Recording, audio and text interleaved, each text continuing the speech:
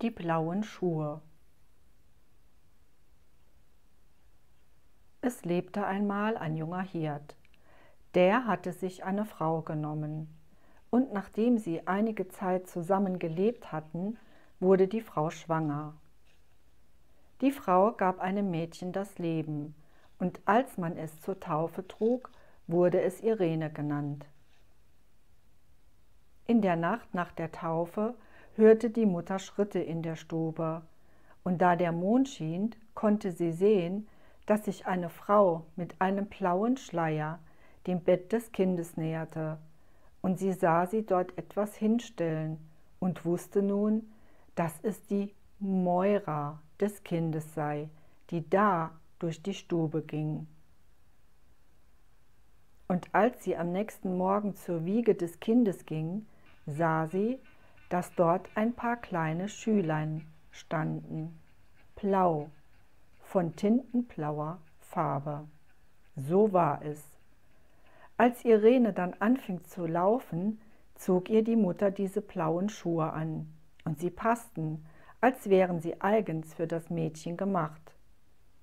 Es vergingen die Jahre, drei Jahre, vier Jahre, sechs Jahre, und Irene wurde immer größer. Aber das Seltsame war, dass auch die Schuhe, die blauen Schuhe, mit ihr mitwuchsen und ihr immer passten.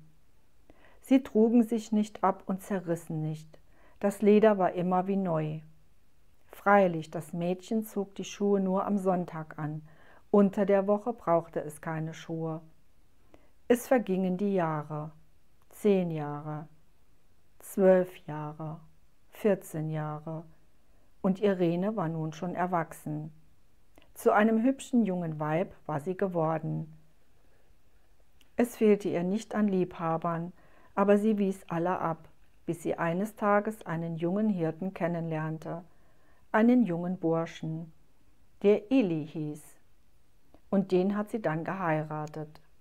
Ja, so war es. Die beiden jungen Leute hätten die glücklichsten der Welt sein können, aber sie litten darunter, dass sie viele Tage im Jahr getrennt leben mussten, weil Illy mit seinen Herden oft unterwegs war.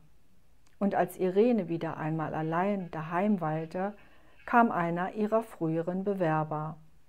Er ging in ihr Haus hinein und sagte, Irene, früher hast du nichts von mir wissen wollen, wie steht es jetzt damit? Ich, sagte Irene, ich habe früher nichts von dir gewollt und ich will auch heute nichts von dir. So sagt sie. Aber der Bursche gibt nicht nach. Er sagt, ach, Irene, wenn du doch nicht so dumm wärst, wir könnten uns gern lieb haben, aber du weißt jetzt, dass ich verheiratet bin, sagte Irene. Nun, was macht das schon, sagte der Bursche, Dein Mann braucht es ja nicht zu wissen, und dein Schaden sollte es nicht sein. Schau, wie viel Geld ich dir geben würde. Und damit hält er ihr einen Beutel voll Geld hin.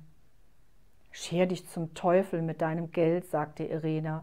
Ich werde es dem Illy sagen, wie du mir nachstellst und was du mir angetragen hast. Da wird der Bursche sehr zornig. Was? Du willst mir mit Illy drohen? Da musst du erst einmal sehen, dass du ihm alles erzählen kannst. Ich werde es dir schon besorgen. Ja, so war es. Der Bursche aber geht hin. Er lauert zusammen mit einem anderen dem Illy auf, sticht ihn mit einem Messer nieder, während der andere ihn festhält. So verblutet Illy bei seiner Herde. Und dort verscharren die beiden den Illy, dann nehmen sie seine Herde und treiben sie weg. Irene aber wartet und wartet. Alle anderen Hirten kommen heim, aber Ili und seine Herde sind nicht dabei. Und da geht sie herum und sie fragt hier und sie fragt dort, Habt ihr meinen Mann nicht gesehen? Nein, wir haben ihn nicht gesehen. Habt ihr den Ili nicht gesehen?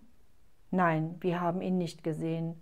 Nur ein alter Hirt sagt, im Gebirge habe ich ihn zuletzt gesehen. Er muss dort oben geblieben sein. Ja, so war es. In der Nacht aber hatte Irene einen Traum. Ihr träumte eine Frau, blau gewandet, käme in ihre Stube, stelle sich vor ihr Lager und spräche. Irene, ziehe morgen deine blauen Schuhe an und geh dorthin, wohin dich deine blauen Schuhe tragen.